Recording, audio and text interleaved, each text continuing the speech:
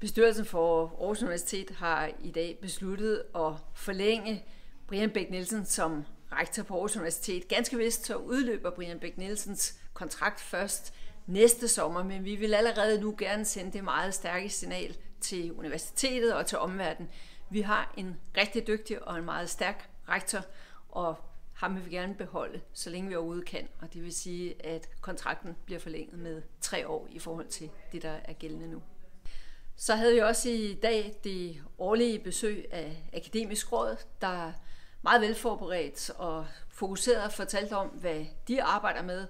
Og noget af det, der jo i særlig grad har bestyrelsens interesse for tiden, det er jo hele den her diskussion om forskningsfriheden. Jeg tror, håber, det er unødvendigt at sige, det er sindssygt vigtigt for bestyrelsen for Aarhus Universitet. Selvfølgelig er der forskningsfrihed på Aarhus Universitet, men det bliver godt nu at få undersøgt, har der været et problem? Er der et problem? Og der glæder vi os meget til at, at høre konklusionerne på det arbejde, som Akademisk Råd har sat sig i spidsen for.